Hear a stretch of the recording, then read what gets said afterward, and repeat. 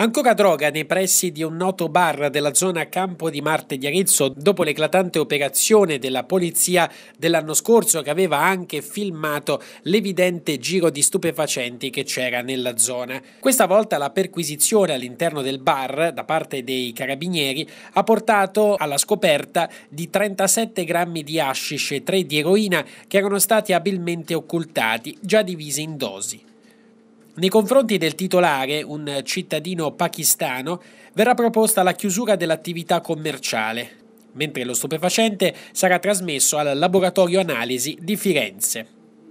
Nel corso della stessa operazione eseguita dai militari del nucleo operativo radiomobile insieme ai colleghi della stazione di Subbiano e con l'ausilio dell'unità cinofila antidroga nucleo di Firenze, sono stati denunciati per detenzione a fini di spaccio di sostanze stupefacenti quattro cittadini extracomunitari perché trovati in possesso di 17 grammi di hashish e circa 90 euro somma ritenuta provento di spaccio.